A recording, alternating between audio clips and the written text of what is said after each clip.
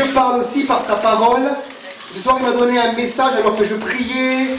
Hier soir, j'aime bien prier quand ma fille est couchée, ma femme est couchée aussi. C'est calme, il n'y a pas de bruit à la maison. Et j'ai Seigneur, parle-moi. Et j'ai vraiment reçu un message prophétique. Je crois que c'est vraiment du Seigneur. C'est comme une parole prophétique qui va libérer certains. Et Dieu m'a dit ce soir, il est temps de sortir du désert. Et je crois que c'est ce que Dieu veut faire ce soir dans la vie de plusieurs, mais également ce week-end, à travers la conférence du prophète Jérémie Soudry dans ce lieu vendredi, samedi, dimanche. C'est comme si Dieu va prendre certaines personnes qui passent par des temps difficiles, des temps de désert, et Dieu va vous sortir du désert. Amen. C'est bon le désert, mais pas trop non plus trop longtemps, Seigneur. On est bien sortir du désert. Quelqu'un dit Amen avec moi? C'est pas moi qui est bizarre, donc ça va. Alléluia. Ok, on ouvre dans 1 Corinthiens 10, versets 1 à 6. Quelques clés pour sortir du désert ce soir. Frères, je ne veux pas que vous ignoriez que nos pères ont tous été sous la nuée, qu'ils ont tous passé au travers de la mer, qu'ils ont été baptisés en Moïse dans la nuée et dans la mer, qu'ils ont tous mangé le même aliment spirituel, qu'ils ont tous bu le même breuvage spirituel car ils buvaient un rocher spirituel qui les suivait et ce rocher était Christ. Mais la plupart d'entre eux ne furent point agréables à Dieu puisqu'ils périrent dans le désert. Or, ces choses sont arrivées pour nous servir d'exemple, afin que nous n'ayons pas de mauvais désirs comme ils en ont eu. On peut dire Amen ensemble à la parole de Dieu. Dieu nous appelle à sortir du désert. Et on a lu ensemble que, euh, à travers l'histoire d'Israël, à travers l'histoire du peuple qui est passé dans le désert, il y a des instructions spirituelles à nous donner ce soir. La première chose, c'est que le peuple est sorti d'Égypte, on connaît bien l'histoire, avec un homme puissant, puissant par le Saint-Esprit qui s'appelait Moïse. Il avait reçu une onction particulière de la part du Seigneur. Il va rencontrer Dieu sur la montagne, le mont Horeb ou le mont Sinaï, c'est la même chose.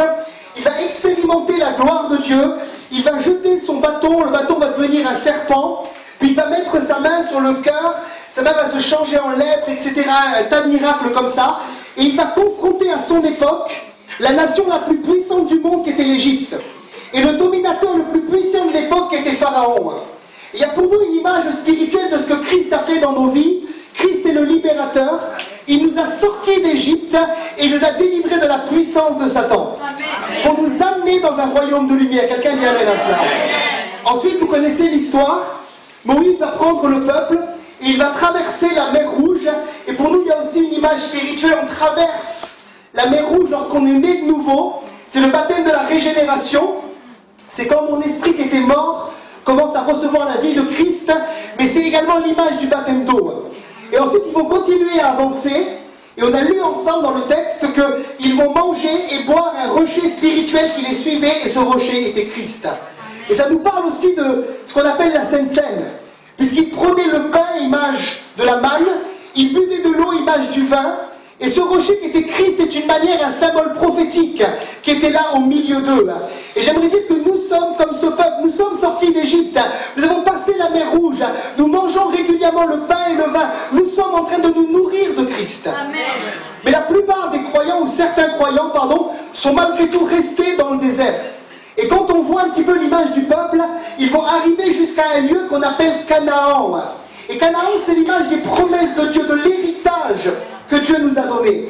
Un héritage où coule le lait et le miel. Et on sait que pour le peuple, une partie, là, malheureusement, va rester devant Canaan et ne va pas rentrer en possession du pays que Dieu avait juré à leur père de leur donner. Et là, on voit par exemple dans, Nombre 13, quand Moïse envoie les espions au verset 10, Nombre 13, verset 10, non, pardon, Nombre 13, verset, donc avait raison, c'était 10 espions, pardon. Extraordinaire. Voilà quel était le bilan de ceux qui sont arrivés. 10 sur 12 vont dire, mais le peuple qui habite ce pays est puissant, les villes sont fortifiées, très grandes. Nous avons vu des enfants d'Anak.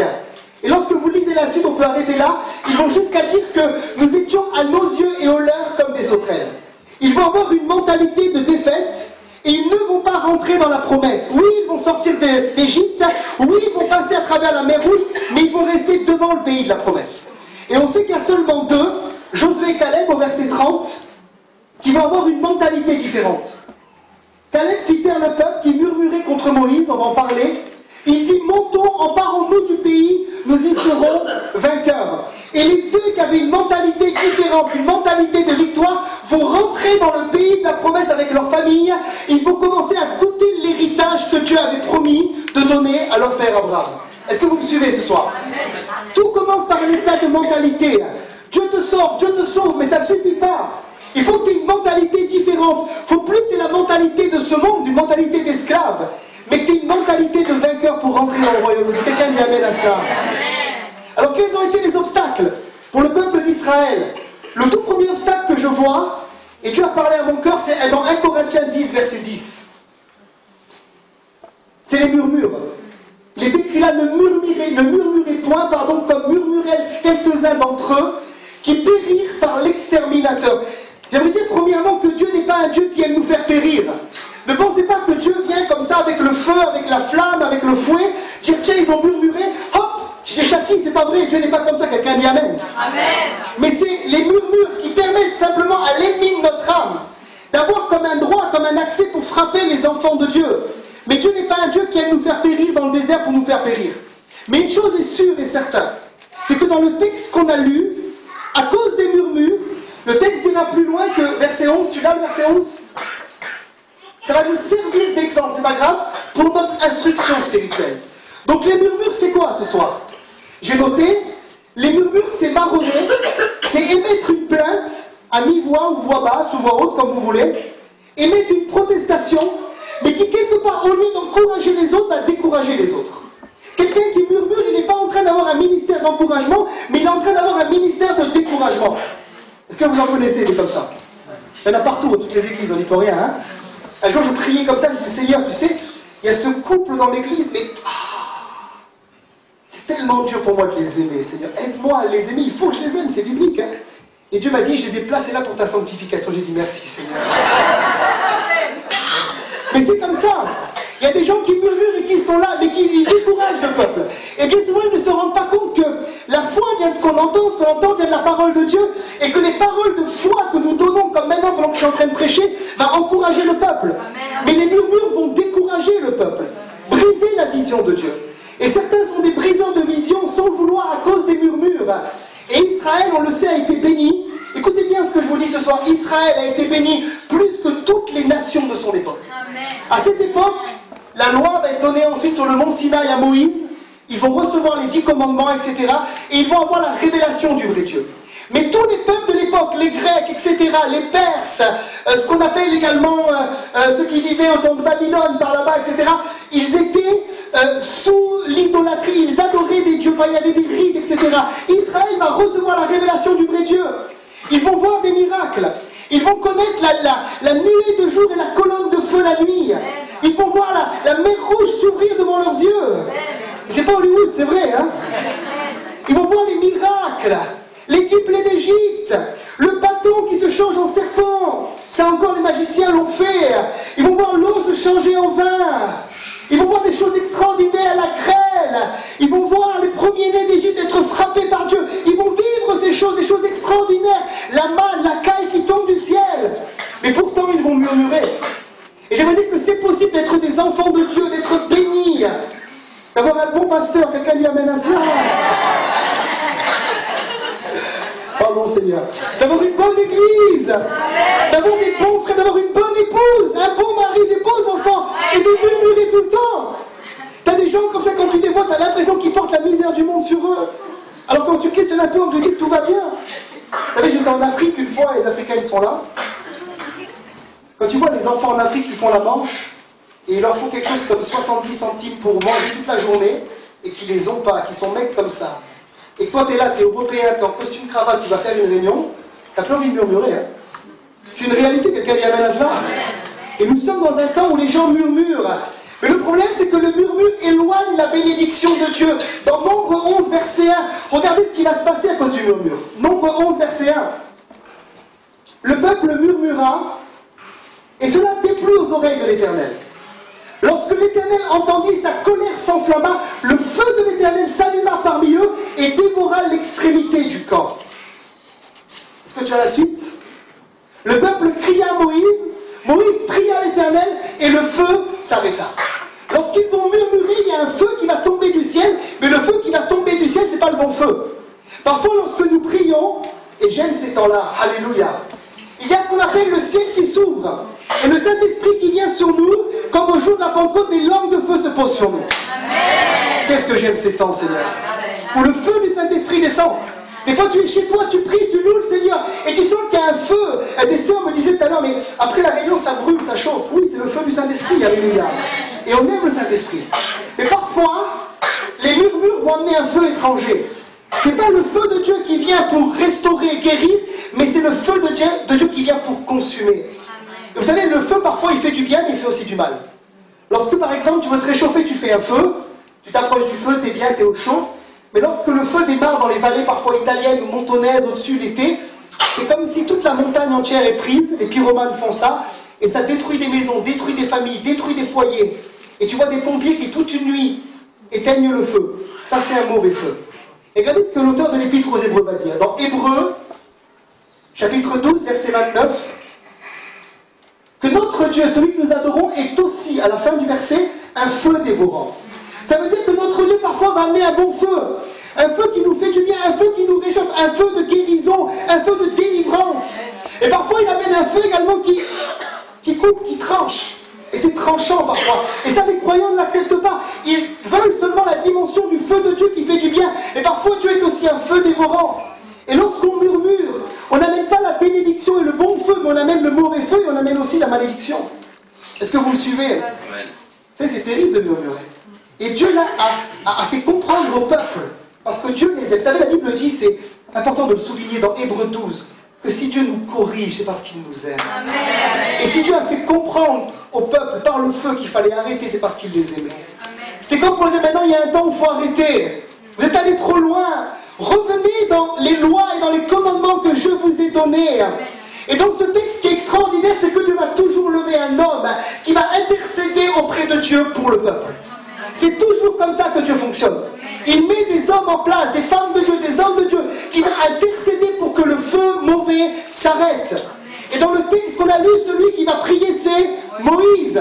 Il va intercéder auprès de Dieu et dire Seigneur, la Bible dit que c'est l'homme le plus patient de la terre. Je demande une chose, Seigneur, c'est enlève mon nom du livre de vie, mais s'il te plaît, ne détruis pas ce peuple. Pense, Seigneur, au Dieu égyptien. Pense à l'Égypte. Qu'est-ce qu'ils vont dire? Ils sont sortis pour mourir dans le désert. Et il va prier, il va supplier, il va intercéder auprès de Dieu. Et ce soir, pour nous, ça nous parle premièrement de l'image de ce qui est pour nous Jésus. Il est celui qui intercède auprès du Père constamment, jour et nuit pour nous. Pendant que toi tu dors, lui il prie pour toi. C'est tous les Amen que vous donnez. Si tu dors bien, c'est que lui il prie pour toi. Il prie pour nous. Et l'épître de Jean, Jean le dira dans 1 Jean 2, verset 1. Oui, Moïse, c'est l'image de Christ. Mes petits enfants, je vous écris ces choses pour que vous ne péchiez point. Et si quelqu'un a péché, nous avons un avocat auprès du Père Jésus-Christ le juste. Et c'est lui qui intercède jour et nuit pour nous. Lorsque tu as murmuré, lorsque tu as péché, lorsque tu as fait des choses mauvaises, tu peux venir auprès de lui. Il est ton Moïse, ton libérateur. Et dire Seigneur, je me repens devant toi, viens à mon aide. Et à l'instant même, il prie pour toi et la plaie spirituelle s'arrête. Amen. Amen. Et le problème, c'est que certains croyants disent Amen, mais ne le vivent pas comme une révélation personnelle. Combien sont écrasés par des jugements, des condamnations, des culpabilités, alors que Jésus est vraiment celui qui intercède pour nous auprès du Père. J'ai un avocat, je ne suis pas parfait devant vous, je ne suis pas quelqu'un d'extraordinaire, mais j'ai un Dieu qui est extraordinaire. Il prie pour moi, alléluia, il prie jour et nuit. Et quand le diable vient me voir, il me dit, mais Stéphane, t'as encore fait ça, il y a encore une plaie, il y a encore un murmure. Oui, je sais, mais il est écrit que le sang de Jésus me purifie de tout péché. Il me purifie de tout péché. Il est mon avocat. Alléluia. Mon père travaille à la prison, il me dit souvent les avocats viennent bien habillés. Marc, c'est vrai ou pas? Ils viennent avec leur carte de visite, costume, cravate, maître. Moi, j'ai pas besoin d'eux. Moi, j'ai mieux dans le ciel que Kalia Menazla. Moi, j'ai un avocat extraordinaire. Il ne coûte rien. Alléluia. Juste à le suivre et à l'aimer. Maintenant, deuxième révélation qui est une vérité spirituelle, c'est que ce Moïse que nous voyons, c'est aussi l'image des bergers que Dieu donne à l'Église et qui intercède parfois pour éteindre aussi les feux étrangers. Et ça, nous l'oublions. Et dans l'auteur, l'Épître aux Hébreux, pardon, le rappellera, l'auteur le dira. On peut lire dans Hébreux 13, verset 17. Un verset qu'on ne lit pas souvent.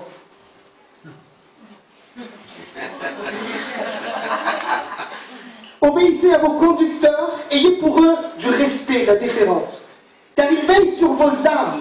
Voilà ce qu'ils font comme Moïse veillait sur le peuple de Dieu. Comme devant en rendre compte, qu'il en soit ainsi, afin qu'ils le fassent avec joie et non en gémissant, ce qui vous ne serait aucun avantage. Quand un berger commence à se plaindre des brebis auprès de Dieu, qui perd l'avantage? Ses troupeaux. Si je viens auprès du Seigneur en disant Seigneur, en gémissant, mais Jérémie donne une fatigue, Seigneur. Est-ce que tu crois qu'il y a un avantage pour toi? Non, il n'y a pas d'avantage. Mais quand le berger vient devant le trône de Dieu, parce que c'est clair, c'est biblique, certains n'acceptent pas cette réalité de la soumission aux autorités, mais la Bible est claire, elle dit que les responsables spirituels veillent sur l'âme des brebis que Dieu leur confie. Des fois, les gens me disent, mais euh, moi, pas de pasteur, pas de berger, pas d'église, pas d'autorité, le grand berger, oui, c'est pas de problème, moi aussi. Mais qui est le sous-berger?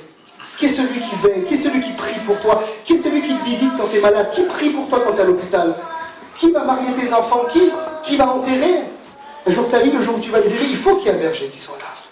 Et je peux témoigner ce soir que de nombreuses fois, la prière de mon père en faveur de l'Église a été une prière de bénédiction. Amen.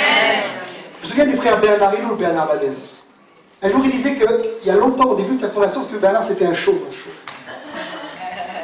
Il avait comme critiqué l'autorité, il s'était mis en place contre l'autorité.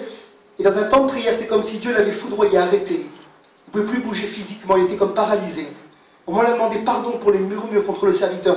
À l'instant même, Dieu l'a guéri. Je me souviens également du témoignage, peut-être Marc ne le sait pas, de son papa avec Mamadou Karambéry. Vous savez, Mamadou Karambéry, c'est le papa de Marc qui l'a baptisé.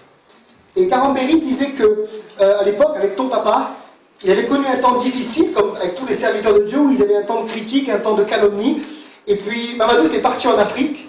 Il est tombé malade là-bas. Alors qu'il dit Seigneur, mais qu'est-ce que je dois faire pour que le feu s'éteigne, le feu mauvais, la maladie? Dieu lui dit écris au Père Blanc, écris au Monsieur Blanc et demande-lui pardon. Au moment où il met la lettre dans la boîte aux lettres, la maladie cesse, il est guéri instantanément. Et j'aimerais rappeler également l'autorité des leaders que Dieu met en place. Ils intercèdent. Parfois on rentre, on pleure, parfois on rit, parfois on se réjouit. Mais on a un cœur de berger, on prie pour que la plaie s'arrête. Et pour que le vrai feu, celui du Saint-Esprit, descende au milieu de nous. Merci pour les quelques Amen. Nombre 12, verset 3, je vais prendre cet exemple de Moïse.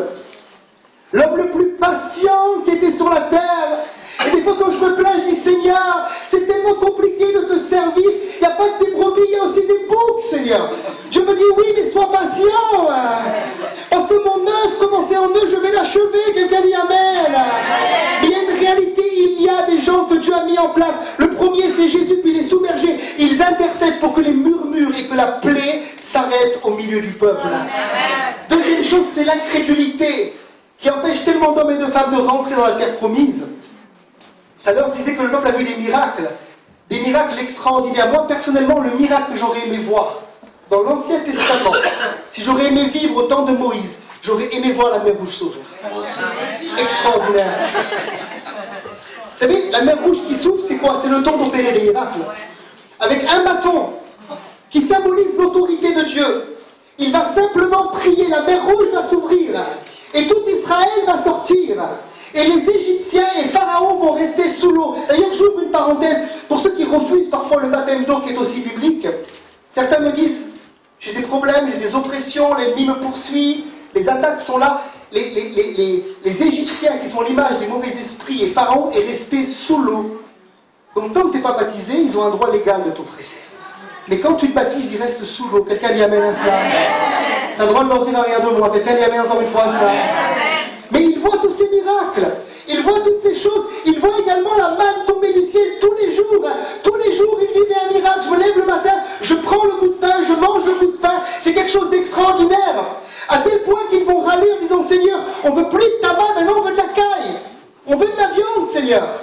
Et regardez ce que Dieu va dire, c'est extraordinaire dans Nombre 11, versets 18 et 19. Ça va s'afficher. Tu diras au peuple, sanctifiez-vous pour demain et vous mangerez de la viande. Puisque vous avez pleuré aux oreilles de l'Éternel en disant encore le murmure, qui nous fera manger de la viande? Car nous étions bien en Égypte, l'Éternel vous donnera de la viande et vous en mangerez. Vous en mangerez non pas un jour, ni deux jours, ni cinq jours, ni dix jours, ni vingt jours. T'as le verset là C'est pas grave, je l'ai. En fait, je l'ai pas, je, je sors de mes notes depuis tout à l'heure en fait. Tu l'as, Basile Voilà, donc, verset 19, il est écrit Vous en mangerez non pas un jour, ni deux jours, ni cinq jours, ni dix jours, ni vingt jours. Et au verset 20, mais un mois entier jusqu'à ce qu'elle vous sorte par les narines et que vous en ayez du dégoût parce que vous avez rejeté l'Éternel qui est au milieu de vous et parce que vous avez pleuré devant lui en disant Pourquoi donc sommes-nous sortis d'Égypte? Amen. Voilà un peuple qui va demander de la viande, vont en avoir de la viande. Jusqu'à leur sortir des narines. Ils vont vivre ces miracles, vivre ces choses dans la présence de Dieu. Écoutez bien, c'est important ce que je vous dis ce soir. Et alors qu'ils passent toutes ces étapes, ils se retrouvent devant le pays de la promesse. Et là, ils ne croient pas. Ils ne croient plus que Dieu est capable de leur donner le pays. Ils ne croient plus que Dieu est capable, le même Dieu qui, quelques dizaines d'années auparavant, a ouvert la mer Rouge, a fait tous ses exploits. Ils ne croient plus qu'il est capable d'exterminer les enfants d'Anak, les géants, etc. Et ils se mettent à douter par incrédulité. Et la Bible est claire, le peuple qui va douter est celui qui va mourir dans le désert. Ils vont tourner 40 ans jusqu'à ce que ceux qui doutent puissent mourir et que ceux qui ont la foi puissent rentrer dans la terre promise. Et bien souvent, mon frère, ma soeur, la bénédiction est devant toi. Mais le doute et l'incrédulité nous empêchent de saisir la réalité de ces promesses. Vous savez, Dieu avait donné un titre de propriété. Dieu avait dit, ce territoire, ce pays, je le donne à tes descendants dans Genèse 17, verset 8. Il est écrit là, je te donnerai, dit à Abraham, et à tes descendants après toi le pays que tu habites comme étranger, tout le pays de Canaan en possession perpétuelle, et je serai leur Dieu. Il y a ce qu'on appelle des titres de propriété spirituelle. La guérison a été acquise par Jésus à la croix. Quelqu'un y amène à cela? La délivrance a été acquise par Jésus à la croix. Les bénédictions spirituelles dans les lieux célestes sont à nous. Toutes ces choses sont à nous. Il y a ce qu'on appelle des titres de propriété. Mais tant que tu ne crois pas que ces choses sont spirituellement parlant à toi, tu es comme ce peuple, tu les vois devant toi, mais jamais tu peux les saisir. Jamais tu peux les vivre. Vous me suivez Vous savez, prier pour un malade qui ne croit pas, c'est comme faire du pain sans farine, ça ne sert à rien.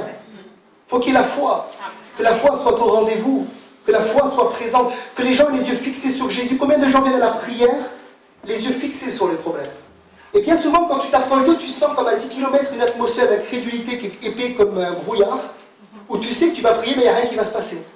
Parce qu'ils ne croient pas. Et le but, c'est d'amener les gens à regarder à Jésus. Lorsqu'ils voient Jésus, ils voient les promesses, ils voient l'héritage, ils voient le titre de propriété spirituelle que Dieu nous a donné en Jésus pour nous emparer des promesses. Est-ce que vous croyez ce soir? Est-ce que vous êtes dans la foi ce soir? Regardez ce que Jésus dira, Jean 10, 10. Ça, c'est l'ancienne alliance. Mais c'est l'ombre des choses à venir. Le voleur ne vient que pour dérober, égorger et détruire. Mais moi, je suis venu afin que les brebis aient la vie et qu'elles soient dans l'abondance. Je ne prêche pas un évangile de pauvreté ce soir. Certains vont attaquer l'évangile de prospérité, c'est correct. Il y a des arrêts dedans, c'est correct. Mais l'évangile de pauvreté, c'est pareil aussi. Hein. C'est pas non plus biblique. Si Christ est venu, il est venu pour nous donner une vie et une vie en abondance. Et si ce soir tu vis une vie en dessous de ton héritage, en dessous du titre de propriété, en dessous de cette réalité de l'abondance que nous avons en Jésus, qu'il nous a donné. Tu as besoin de revenir ce soir dans une mentalité de victoire, une mentalité de foi. Merci. Où tout est accompli. 28, verset 13. Je suis en train de monter la foi tout doucement. C'est une paraguayenne, c'est normal, ils vont feu là. L'Éternel fera de toi la tête et non la queue. Tu seras toujours en haut et tu ne seras jamais en bas. Lorsque tu obéiras au commandement de l'Éternel ton Dieu, je te prescris aujourd'hui, lorsque observeras et les mettras en pratique. C'est une promesse faite à Israël, mais c'est une promesse qui est pour nous ce soir. Il fait de nous la tête et non la queue. Alléluia. Je suis toujours en haut et jamais en bas. C'est mon héritage. Quand vous commencez à vivre comme ça, attendez-vous à des pensées incrédules qui vous attaquent toute la journée. Toi, t'es un prétentieux, toi, t'es un fou, toi. Toi, tu te prends pour qui? Moi, je suis personne, mais je déclare juste que la Bible dit que je suis en Jésus-Christ. Je suis un vainqueur, né pour vaincre, né pour régner, né pour vivre une vie abondante en Jésus-Christ. Je pourrais plutôt dire renaître de nouveau, naître de nouveau, pour vivre ces choses-là. Et bien souvent, l'incrédulité nous limite, l'incrédulité nous retient. Et l'incrédulité, souvent, je le compare un petit peu comme la femme de Lot. C'est comme si, alors qu'on est appelé à aller de l'avant, elle se tourne en arrière, elle devient une statue de sel. Et les gens incrédules sont comme bloqués. Et ce qui se passe, comme pour le peuple, vous lirez 1 Corinthiens 10, ils commencent à convoiter les choses du passé. Ils commencent à convoiter ce qu'ils ont laissé en Égypte, comme ça ne marche pas avec Dieu. Comme c'est compliqué, comme il y a des géants, ils commencent à s'installer dans une forme de confort en disant Mais au moins en Égypte, il y avait tellement de choses extraordinaires. On peut le lire ensemble. Dans Nombre 11, verset 5. Nombre 11, verset 5. Tu l'as pas? Nous nous souvenons des poissons que nous mangions en Égypte et qui nous. J'arrive même pas à me relire. Tu sais, j'étais tellement rempli, j'ai écrit comme ça mes notes, je suis parti sur mes Lis tout ça qu'on verra. Alors, nous nous souvenons des poissons que nous mangions en Égypte et qui ne nous coûtaient rien, des concombres, des melons, des poireaux, des oignons. C'est le marché Et des os. Maintenant, notre âme est desséchée, plus rien à nos yeux ne voit que de la manne. Amen, c'est bon. Premier verset 5. Mais c'est fou, c'est extraordinaire, dans le mauvais sens. Nous nous souvenons des poissons que nous mangeons en Égypte, qui ne nous coûtaient rien. Pas un coup de bâton, rien, c'est gratuit. Des concombres, des melons, des poireaux, des oignons et des, et os. Ils sont en train de se souvenir seulement des bonnes choses. Ils oublient les 400 années d'esclavage. Ils oublient la tyrannie de Pharaon. Ils oublient le jour où Pharaon va dire faites des briques sans. Ils oublient les coups de bâton. Ils oublient les cris à tel point que dans Exode 3, Dieu va dire à Moïse, mais j'ai entendu les souffrances du peuple qui crie, de ce que leur font pousser les oppresseurs. Toutes ces années, 400 années, ils les oublient parce qu'ils sont devant un défi devant eux. Et ce défi, c'est la terre promise qui est prise par des géants. Ils retournent en arrière. Et cette génération va mourir dans le désert. Et combien de gens sont comme ça? Quand tu leur parles de la vie abondante qu'il y a en Jésus, au lieu de te croire, ils te parlent des années qu'ils avaient en Égypte. C'était plus simple avant. Un coup de téléphone, c'était réglé. J'avais tel contact, tel ami, telle fraude, tel problème, telle situation. Et mon frère, ma soeur, toutes ces choses, tu les as fait mourir le jour de ton baptême. Et aujourd'hui, tu es appelé à marcher dans la foi. Ta solution, c'est Christ. Ta victoire, c'est Christ. Et tu vas commencer à vivre des choses que tu vas comprendre que tu es une nouvelle créature et que tu vas commencer à rentrer dans les choses que Dieu a en réserve pour toi par la foi. C'est par la foi. C'est un témoignage très court. Vous savez, quand j'étais au lycée, j'ai eu un problème un jour avec une jeune fille. Et cette jeune fille était vraiment terrible, c'était une jeune fille qui était dans la délinquance, etc. Et j'ai pas l'habitude de me laisser faire. Là, je suis chrétien, mais pas chrétien, excusez-moi. Et puis, elle m'a parlé, puis j'ai répondu sans agression, mais j'ai été ferme. Elle m'a dit Toi, la sortie, t'es cuit. T'es cuit. Et ça, à Nice, quand on dit t'es cuit, t'es cuit. C'est pas mandat quand t'es cuit. Vous voyez? Et, et, je me dis Mais qu'est-ce que je fais? J'ai le téléphone portable J'appelle Ramsey, Eric, j'appelle tout le monde. J'appelle mes copains, mes potes, et Dieu me dit non, t'es enfant de Dieu, tu fais plus rien. Ou tu prends une rousse, ou tu me laisses te protéger. Et j'ai laissé faire le Seigneur. Il m'est rien arrivé. Et on a perdu de vue cette fille à tel point que la police l'a cherchée. Elle n'est plus jamais revenue au lycée. Jusqu'à ce jour, je ne sais pas ce qu'elle est devenue. On l'a perdu de vue, on l'a mis là au commissariat, je ne me souviens plus de son prénom. Je crois qu'on l'a retrouvée des mois après dans un appartement avec quelqu'un, c'était très compliqué. Mais je savais une chose, c'est que Dieu m'avait protégé. Je n'ai pas été en Égypte chercher des solutions auprès des concombres et des poissons, et auprès du Seigneur. Alléluia. Ok, je termine. Comment rentrer dans son héritage? Comment sortir du désert? La première chose, c'est qu'il faut te repentir. C'est quoi la repentance? Vous savez, le mot repentance, on prêche la repentance. Repentez-vous, repentez-vous, repentez-vous. Mais littéralement, c'est quoi? Littéralement, le mot grec, c'est métanoïa. Changez votre mentalité. Commence à changer ta mentalité par rapport à Dieu, par rapport à tes circonstances, par rapport à la parole et aux promesses de Dieu. La deuxième chose, c'est renouvelle ton intelligence. Dans Romains 12, verset 2. Ne vous conformez pas au siècle présent. Pour les gens qui étaient là dans le désert, les Israéliens, le siècle présent, c'était l'Égypte. La, puissance, la, plus puissante du monde à cette époque. Ils avaient quitté l'Égypte, mais l'Égypte était restée dans leur cœur. Et Dieu m'a dit, ne vous conformez pas au siècle présent, mais soyez transformés par le renouvellement de l'intelligence. Afin que vous discerniez quelle est la volonté de Dieu, ce qui est bon, ce qui est agréable et ce qui est parfait. Tu as quitté l'Égypte. Première étape, non, il faut que l'Égypte quitte ton cœur. Comment Par le renouvellement de l'intelligence? Il y a des gens qui pensent toujours comme avant. Mon père dit souvent, certains chrétiens, ils ont un cœur nouveau mais une vieille tête. C'est comme ça. L'esprit est neuf, ils sont régénérés, ils ont tout reçu, selon la prophétie qu'on voit dans Ézéchiel. Je vous donnerai un cœur nouveau, un esprit nouveau, mais ils pensent toujours comme le vieil homme. Et c'est pour ça que Paul dira dans Ephésiens 4, déshabillez-vous du vieil homme pour revêtir l'homme nouveau, Christ selon Dieu, dans une justice et une sainteté que produit la vérité. C'est le renouvellement de l'intelligence. Tu changes ta manière de penser. Et ensuite, qu'est-ce que tu fais? Proverbe 18, verset 21. T'arrêtes de murmurer, mais tu changes ton langage. La vie et la mort sont au pouvoir de la langue. Quiconque l'aime en mangera les fruits. Certains, ils ont changé leur pensée, mais pas encore leur langue. Et la plupart des problèmes des gens viennent de la confession de leurs paroles. Tu dis que tu arriveras jamais, mais tu arriveras jamais. Tu dis que tu es bon à rien, tu seras véritablement bon à rien. Il faut que tu commences à manger de nouveaux fruits dans ta nouvelle saison. Et ces nouveaux fruits viennent de la confession journalière de la parole de Dieu qui est dans ta bouche. Souvent, je dis que dans l'Apocalypse, on voit un Jésus glorifié. Le frère en a parlé la semaine dernière, pour ceux qui n'étaient pas là. Et ce Jésus glorifié, il a une épée dans sa bouche. Et l'épée, c'est l'image de la parole dans Éphésiens 6. Nous avons l'épée dans notre bouche. Parfois, il m'arrive de, de parler l'impossible, comme tout le monde. J'arriverai pas, c'est trop compliqué. Et tout de suite, le Saint-Esprit me reprend, me dit arrête. Comme je travaille avec tes paroles, plus tu dis ça, plus tu vas te lier, plus tu vas te bloquer, plus c'est compliqué. Déclare que tout est possible Ce n'est pas de l'auto-persuasion, c'est de la foi. Tu changes ta mentalité.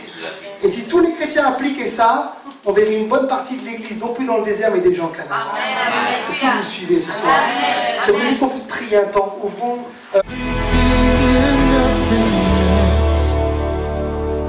my best, my all.